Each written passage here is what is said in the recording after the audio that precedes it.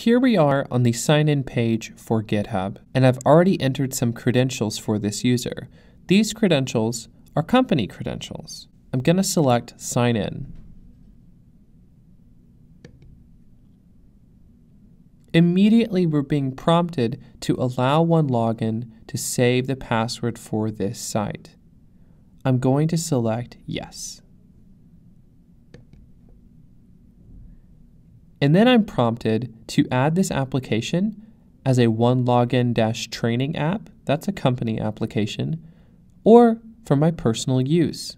Now, because the credentials I used are company credentials, I'm going to leave it selected as OneLogin dash training and select add. And if we now click on the browser extension in the upper right hand corner, we will see GitHub, and the username for this forms-based application, test learns. All right, here we are at Twitter, and I'm going to show you now how to add Twitter as a personal application. So I've entered in my username and my password for Sarah, and I'm going to select login.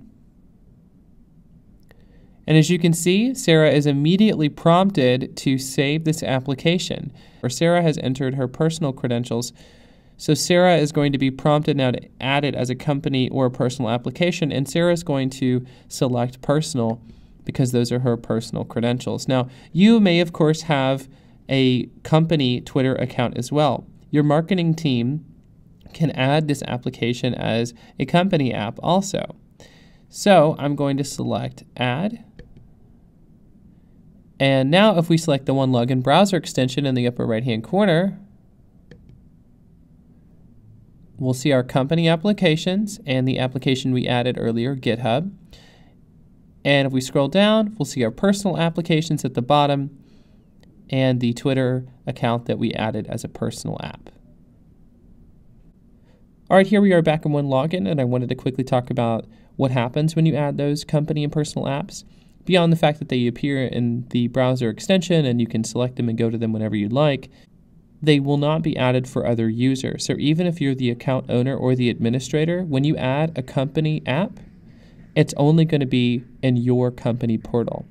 If you want that app to be distributed to other users, then you need to go to Apps, Company Apps, and then assign that application via a role, or go directly to a user and assign that application to a user.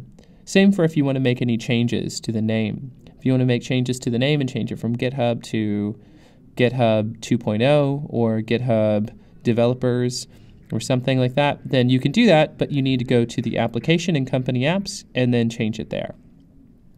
Now for personal apps, because they're personal, you can just click on the pencil and then click on the personal app and you can change it right here in the portal very simply. At this point, I want to thank you for watching. Let us know how you liked the video on our YouTube channel.